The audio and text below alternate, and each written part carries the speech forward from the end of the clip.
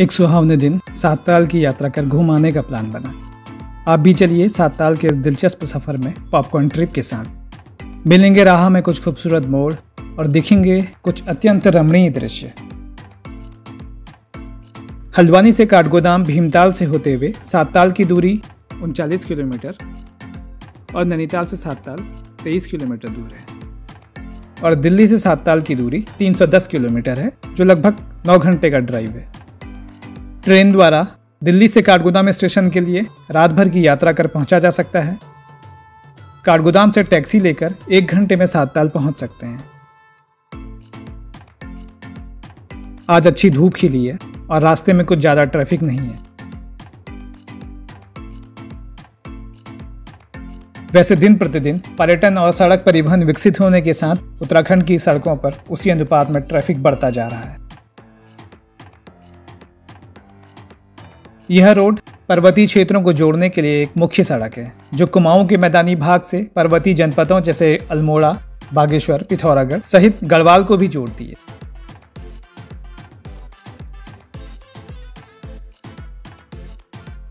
सात ताल के लिए महरा गाँव से बाई ओर ढलान की ओर जाती सड़क से पहुँचा जा सकता है। इस स्थान का नाम सात ताल इसलिए पड़ा कि यहाँ कभी छोटे, बड़े सात ताल हुआ करते थे कुछ ताल यहाँ सड़क से गुजरते हुए दिखाई देते हैं, जंगल और पहाड़ियों से घिरे, और कुछ ताल अब अस्तित्व में नहीं है। इन तालों के नाम स्क्रीन में देखे जा सकते हैं। ढलान से नीचे उतरते हुए कुछ खूबसूरत मोड़, मार्ग घने वृक्षों और सुंदर नज़ारों से घिरे हैं। ये रास्ते और यहाँ से दिखते नज़ारे, यहाँ से गुजरते लोगों को सम्मोहित करते हुए चित्ताकर्षक दृश्य यही तो है वो जिसके लिए दुनिया भर से सैलानी यहाँ आते हैं। इन कुछ घुमावदार मोड़ों से होते हुए सुंदर बांच के वृक्षों से घिरे सात ताल के किनारे।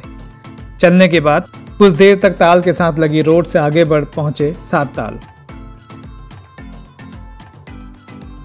यह है सात ताल में वाहनों के लिए पार्किंग की जगह।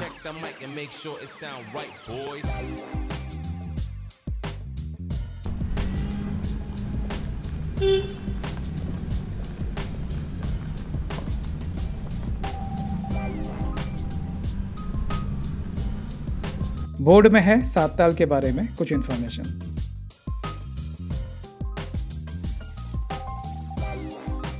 यहाँ की सीढ़ीनुमा बाज़ार में कुछ भोजनालय हैं, जिनके सामने यहाँ बैठने और ताल का आनंद लेने के लिए जगह जगह बेंच लगी हैं।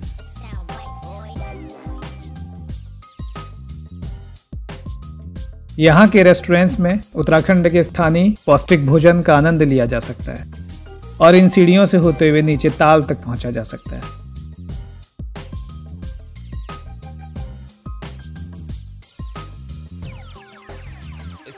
सात ताल रामताल और सीताताल से मिलकर बना है। एक ओर के हिस्से को रामताल कहते हैं और दूसरे हिस्से को सीताताल माना जाता है कि रामताल के एक किनारे पर ही लगा हुआ ताल लक्ष्मण ताल है। यह सब अब सात ताल का हिस्सा है। ताल के एक किनारे से दूसरे किनारे को जोड़ने के लिए यह ब्रिज राम सेतु।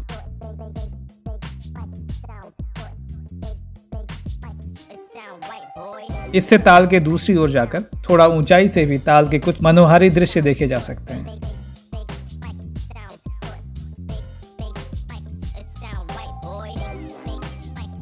ताल में बोटिंग पर्यटकों के मध्य सबसे पसंदीदा एक्टिविटी है।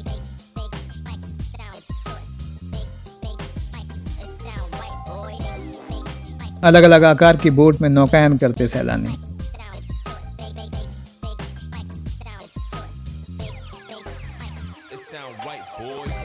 ताल के चारों ओर अच्छी ग्रीनरी है ऊँचे पेड़, प्रकृति, शांति और अपनों के साथ ऐसी जगह, समय भले ही न ठहरे, लेकिन खुद को थोड़ा और यंग होता महसूस तो किया ही जा सकता है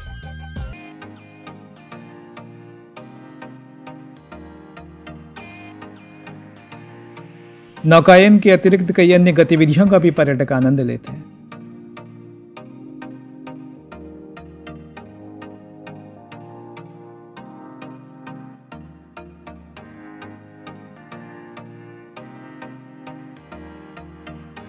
सात ताल में होने वाली कुछ एक्टिविटीज़ की जानकारी स्क्रीन में देख सकते हैं।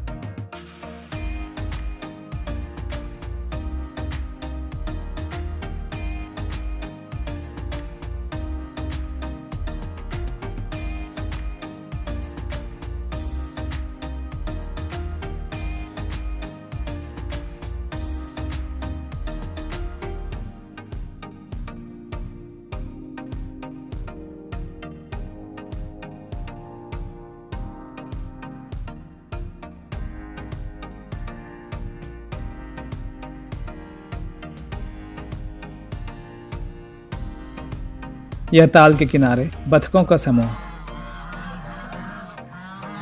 सामान्यतः इनका जीवन दो से बारह वर्ष तक होता है। वैसे तो बतख शांतिप्रिय होती है। ये यहाँ आने वाले सैलानियों के साथ भी घुल मिल जाती है।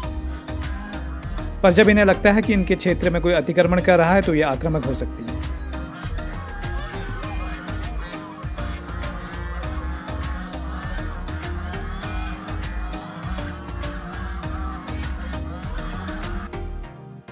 ताल के किनारे और आसपास घूमते हुए, सुरम्यता को निहारते हुए बर्ड्स और नेचर के साथ घूमे।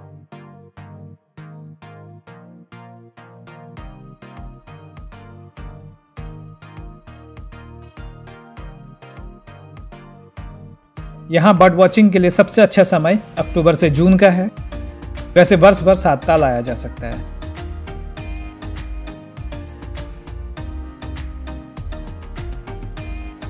नैनीताल की ही तरह, यहाँ के अपेक्षाकृत ठंडे मौसम के कारण गर्मियों के समय यहाँ अधिक व्यस्त सीज़न मिलता है।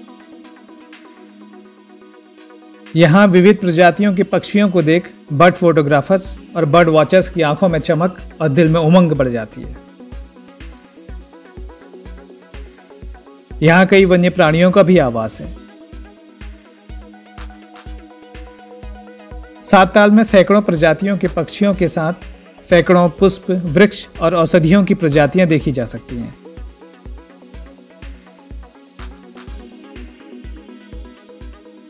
स्वच्छ वातावरण, घने वृक्ष जगह जगह ताल, प्रकृति को फलने फूलने के लिए और क्या चाहिए? यहाँ ताल में एक बोट में बैठी किंगफिशर को मछलियों की शिकार करते हुए कैप्चर करने का मौका मिला। सही समय का इंतज़ार करने के बाद किंगफिशर ने तेज़ी से पानी में डाइव मारी और उतनी ही तेज़ी से वापस आई। किंगफिशर के बारे में एक विचित्र तथ्य है कि ज़्यादातर किंगफिशर जब शिकार करना सीखते हैं तो पानी में अपनी पहली ही डाइव में डूब जाते हैं और जो सरवाइव कर पाती हैं, वो ऐसे ही दिखाई देती हैं।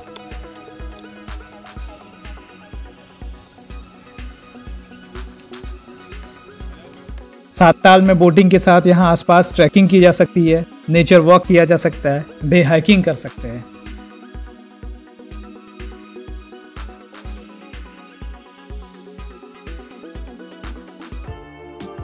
यहाँ ठहरने के लिए कुछ कैंप साइट्स और रिजॉर्ट्स हैं। सभी नेचर से घिरे, जो इंटरनेट पर सर्च किए जा सकते हैं। अगर आप चाहते हैं कि हम अपने वीडियोस में होटल्स की जानकारी भी दें तो इसके लिए कमेंट बॉक्स में अपने सुझाव दें।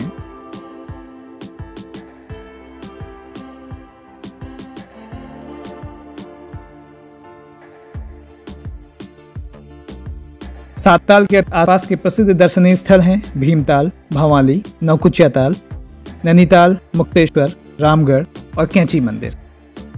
इन सब स्थानों पर बने वीडियोज़ भी आप पॉपकॉर्न ट्रिप चैनल में देख सकते हैं। सात ताल बहुत बड़ा नहीं है, यहाँ के बाज़ार में कुछ गिनी चुने फ़ूड स्टॉल और रेस्टोरेंट्स हैं।